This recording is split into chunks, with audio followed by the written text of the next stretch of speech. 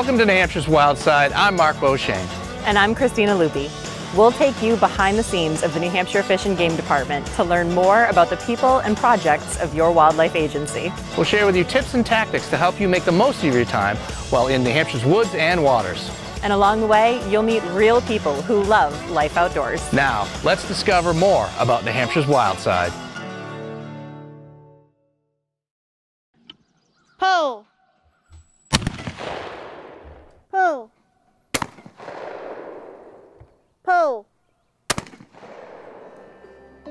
I got started in this. It's a bit of a long story. Um, with Manchester Memorial High School, they started a trap team my freshman year. And I've always been interested in being part of a team because I have uh, medical conditions that prevent me from doing anything contact or track and field related. So I went home to my mom and told her, hey, I'm gonna join the trap team. And she's like, track? You can't, you can't run. So I'm like, no, trap, like shotgun shooting. And she turns to me, she goes, you've never shot a shotgun in your life. Why? She always told me to try new things. So we went to the intro shoot and they threw targets for the new kids to try. The first shot she missed, the second shot she hit, she turned around with the biggest smile on her face and said, I need one of these. She has been hooked ever since. My very first competition was Mass State Shoot three years ago. Pull. Was really excited. I was happy because I got to do something part of a team and adrenaline rush was huge for me. I just had like a whole lot of adrenaline. I was really excited. I was jumpy and I was so ready to go. Pull. I was so excited to be able to get like a five on the, on the field in general and now now it's a big difference because I'm excited when I get fives on each stations or 20s. Pull. AIM is a youth organization under the umbrella of the Amateur Trapshooting Association, and it AIM stands for Academics, Integrity, and Marksmanship, and it's um, designed to help the kids get from um, entry-level shooters and hopefully stay in the program through adulthood. Pull. Pull. I've been doing this for around three years now. I originally started shooting when I was eight years old. I started off with handguns and moved my way up. Pull.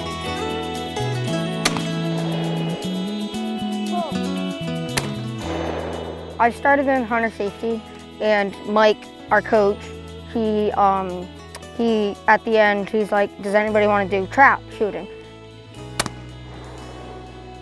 Pull. My first competition was a little nervous, and um, we got there, and I was in the first round with all the adults, and it was doubles, so two of them went up, and I think I did. I think I came in third out of five adults. Pull. Pull.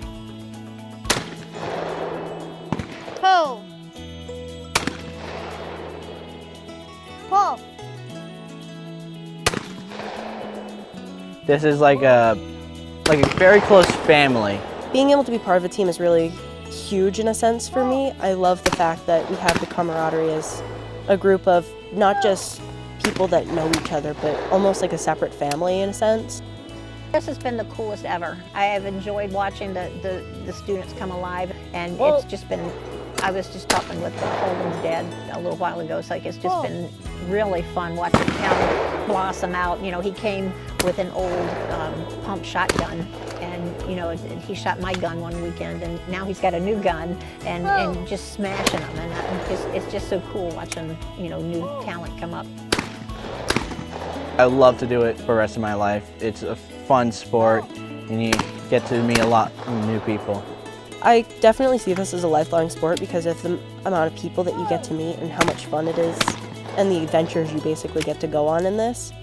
Um, collegiate, one of the most unused scholarships that I know of is female shooting, so I definitely want to go for scholarships in that. To see them succeed, Pull. to set a realistic goal and come back to the line and be like, I hit five, you know, and then have that number slowly progress to, you know, I, I, I did a 23 today, or for them to sit there and go, did I just get my first 25? And you go, Yeah, and they're like, oh my gosh, you know, that whole, the, the light up, the, the, the camaraderie that they do, and nobody's trying to outdo the other person because you're trying to beat yourself. There's some kids that need an organization and they need to be doing something like this. They need to be outside, they need to be doing something that connects them with culture and history and the, the trap shooting gets them with the shotguns and everything. It's, it's just a cool experience for them. Each year, New Hampshire Fish and Game's Hunter Education Program, with the help of over 450 volunteer instructors, trains over 3,000 students in hunter and trapper education. Learn more about hunting in New Hampshire at huntnh.com. Hi, we're at the Seacoast. We're gonna go exploring in the intertidal zone. Let's go see what we can find.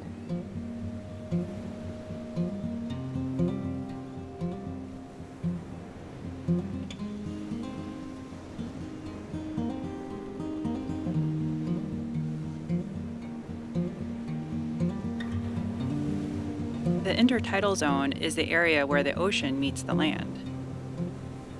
This is the area where we'll find tidal pools. Tidal pools are formed as the tide goes out. Water and critters, like the striped killifish and sticklebacks, they get trapped in the rocky pools.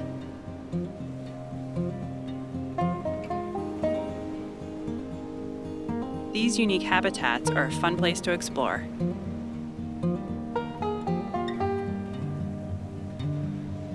Tidal pools provide feeding opportunities for seabirds and water birds like these common eiders. It allows them to hone their fish catching skills.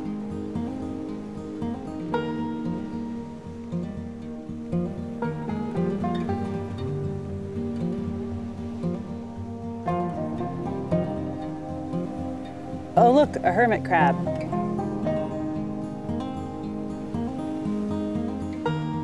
Hermit crabs don't have a shell when they're born. They have to find a snail shell to live in. As they grow bigger, they have to switch out their shells to find one that fits them better. Okay, let's put them back in the water.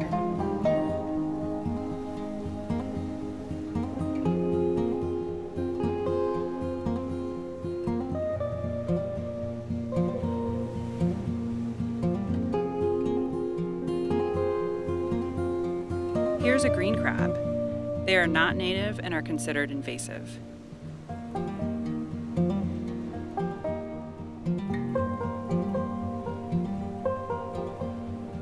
Here we have a sand shrimp. They are fast swimmers with a translucent body, making them difficult to see.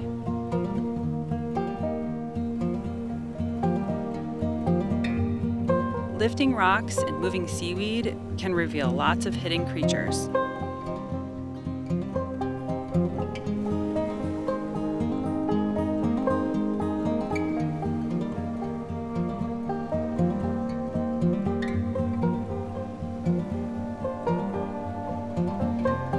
Try to replace rocks right where you found them.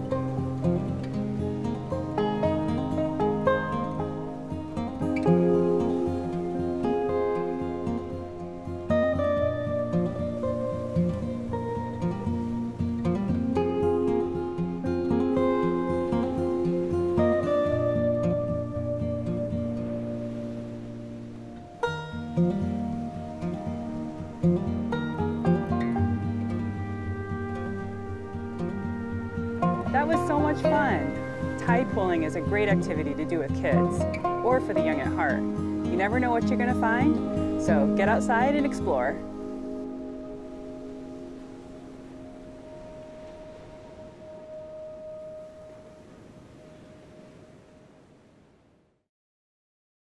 Late summer is the perfect time to visit Great Bay Discovery Center.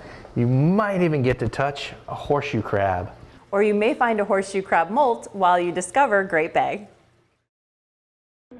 Hey guys, it's me, Laura from the Morning Buzz. Another year for our Lend a Helping Hand radio auction fishing trip.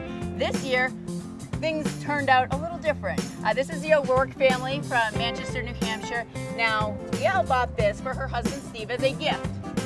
I think Steve found out he was going to be fishing against me, got a little nervous, and decided his daughter Julia, who got a great report card, deserve this as a surprise. So we know Steve's afraid to fish against me, and it was so great of him to donate this to his daughter Julia. Julia, are you ready to go fishing? Yeah, let's go.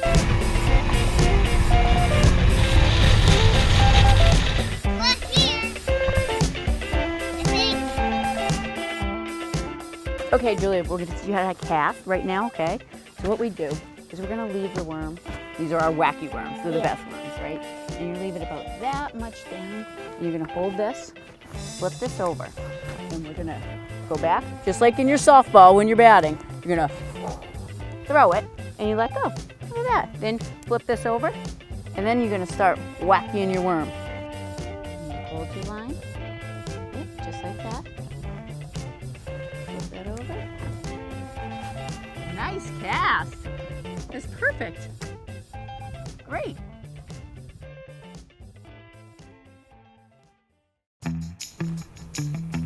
Peaceful?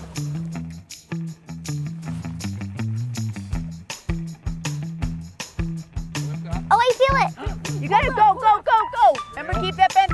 Keep, keep this down. Oh, it. Yeah. See, see your pole up too high. You're gonna keep it. Remember how Mark was pretending Yeah. to be a fish? We're gonna keep that bent. Come on, fishies, eat my, eat my worm. Sugar stick. Yeah, my sugar stick. Eat my sugar stick. Not even a fight. This guy. No. That's sad. I still feel like I'm gonna win. They're here. Oh, I lost. Well, see, it didn't count. I didn't even get to pull him in. I reeled it up, but I lost him, so it doesn't count. You have to get it on board for it to count. Fish on. How big? Not big. That's a tiny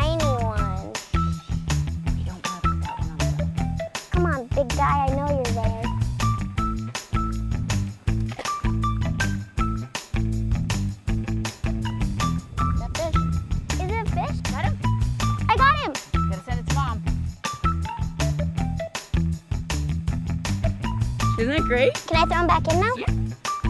Thank you, fishy fish. You name him Fishy?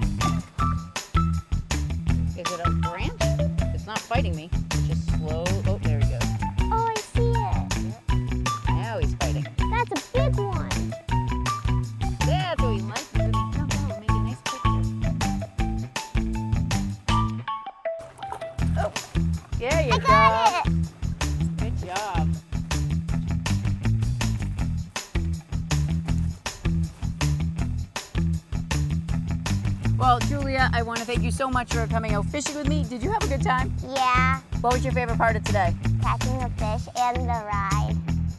Don't you love that feeling of catching a fish? It gives you the shakes, maybe? It makes you smile? You think you're going to stick with fishing? Awesome. Give me five. We hope you enjoyed this episode of New Hampshire's Wild Side. Remember to check back to see new content on nhwildside.com. Until next time, I'm Mark Beauchesne. And I'm Christina Lupi. Thanks for watching.